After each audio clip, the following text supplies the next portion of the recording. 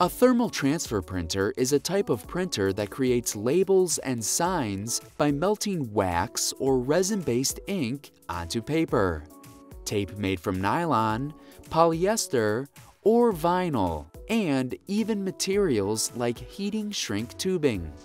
They are known for their smear-proof images and resistance to fading, and are well suited for creating barcodes. The main functional component of a thermal transfer printer is its printhead, which spans the width of whatever tape the printer is built to handle.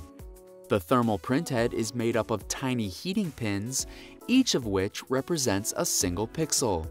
The key material used in thermal transfer printing is wax or resin-based ink.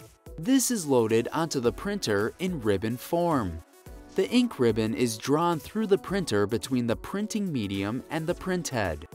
The printhead is controlled by a microprocessor which determines which heating pins need to be activated in order to form a specific image. From there, signals are sent to the selected pins, causing them to quickly heat and cool against the ink ribbon, melting and transferring ink off its backing film and onto the blank label surface.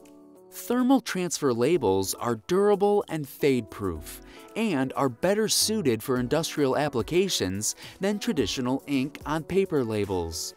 Regular ink bleeds easily, and direct thermal media can darken and become unreadable after being subjected to sunlight and heat sources.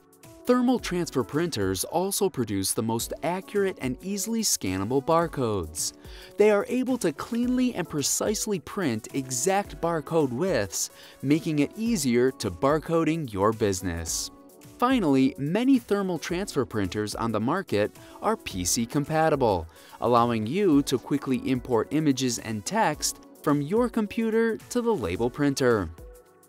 Stay tuned to GTV for more tech tips and be sure to visit our website at galco.com to view our full selection of thermal transfer printers.